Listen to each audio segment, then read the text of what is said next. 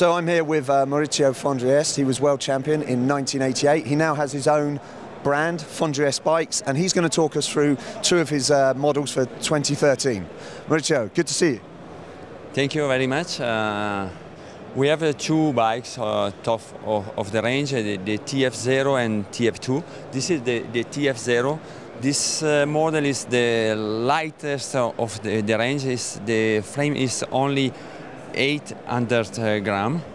Our goal is uh, to research and, and, improve the balance between uh, lightness, stiffness and comfort. So the TF0, your top-end bike, is this is this a race bike specifically for the serious uh, serious cyclists like yourself? Our our our bikes uh, with the, the, light and comfort and stiffness, you can use uh, use for race or uh, for uh, or for fun. So a great bike for Gran Fondos. Um, yes. You you design the bikes yourself. You do a lot of research into the bikes, and you do a lot of riding of the bikes. I test, uh, I, uh, I work with uh, our engineers. Uh, this bike is, uh, is uh, like old, old style. The round, round tube is made in Italy, the tube and bonded in Italy. And the, TF, the TF2 is the, the other, our frame is a, a little bit different. So standing now with the TF2. Maurizio, you said this is your baby. Why, why is this? It's my baby because uh, I, uh, I spent a lot of time with the engineers and designer for, uh, for this bike. This, uh, it looks very, very, uh, very good. But we have uh, this fork. This is a, a reflex fork. It's only in the, in the world because uh, it's not only the style. Mm -hmm. With the, this uh, fork, in descent, uh, uh, when you ride very fast, it's very precise, okay. a, a, very, a very, very stable.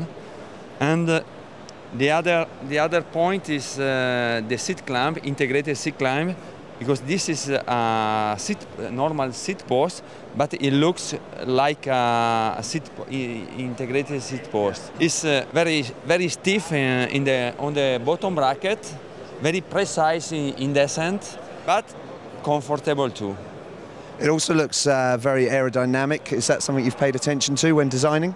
Yes, uh, aerodynamics is very very important uh, in the in the road bike too, not only in the in the time trial bike. So this bike is a lot of fun to ride, fast. You can put the power down, but you can also really enjoy going downhill on twisty Italian roads.